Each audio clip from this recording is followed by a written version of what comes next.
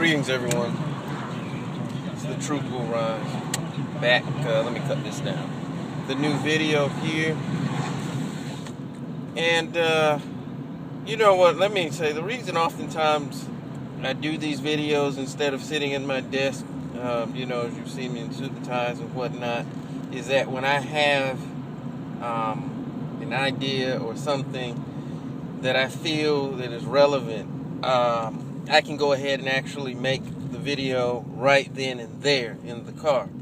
So that's why uh, a lot of times, or a good portion of the times, you'll see me making these in the car.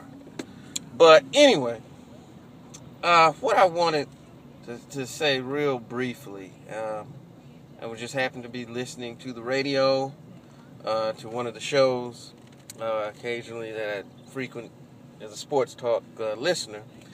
One of the callers said something, and I thought it was a microcosm of a larger problem. When the caller said that the athletes are the role models for our children. And even though that may be the way it is for a lot of people, um, let me just say how wrong that is. I, I definitely have to agree with Charles Barkley. Uh, was it back in 92 or 93? Um, he did that commercial. I'm not a role model. If you haven't seen it, uh, if you're kind of younger, uh, YouTube it. It's you can you can uh, see it. But anyway, in the uh, the commercial, he basically says that just because I can dunk a basketball doesn't mean I should raise your children, and that caused a lot of issues with people because oh I can't believe you said that yeah, but it's the absolute truth. You know what these and and this is not me bashing famous people per se. But what this is is a dose of reality, a dose of truth, if you will.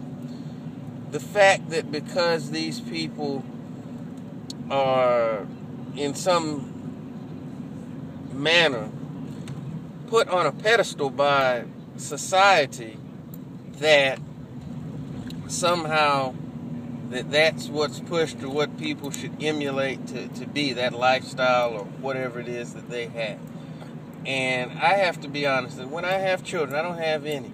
But I can assure you, the last person that I want to be their role model is some doggone athlete or entertainer or actor or actress, okay?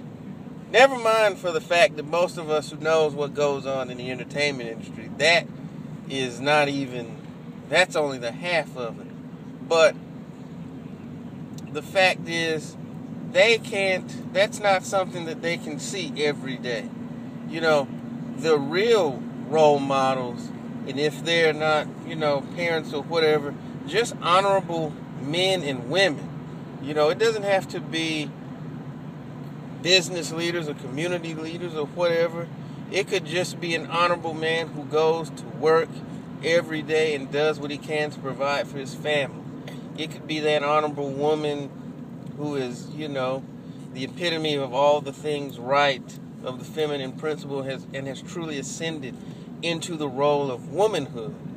You know, that those are the, what should be the bastion of role models for people, period. But because they're put out there and, and we've gotten lazy as a society, it's easy to pawn that responsibility off on people that they can't touch or, or talk to or don't really have that type of impact. Now, with that being said, are there certain things, if I had a son or a daughter, and and this is, and, and like I said, not all athletes are bad, but I'm just using a generalization to, to paint the picture here, the overall picture of what I'm trying to say. From an athletic standpoint, if they're having success or if they're doing things in the right way, would I want my child to take that particular uh, portion and, and and follow that example in that particular avenue? Absolutely. But I don't want I wouldn't want them to look to this person as as, as they're trying to get I don't want to say approval or or or that they're trying to, to live up to, to some type of, of standard. When the only real standard that we need to abide by and try to live up to is is is building up ourselves and our family institutions and communities as best as possible in doing the most conscious good in doing the least amount of conscious evil or wrong or harm to people. That's what it's what it's all about not relying on on someone on television because I don't care how high you can jump, how fast you can run, how good you can sing or act or whatever it is that you do. Because at the end of the day, when that child is sick or when they go to sleep or whatever, it's other people there. And hopefully, from that particular, and I'm using a euphemism, that village that they're in, then that's where the role models should come from. Not from television. Because the things that you see on television are carefully, carefully, excuse me, carefully constructed, crafted, and scripted to look a certain way. So you might be buying into something that's not even real, and and not even and, and, and ignoring the things right there that are not. So that's uh, that's what I wanted to say. You know that it's not about what's going on on television or, or in the, the media or whatever. They are all somewhere.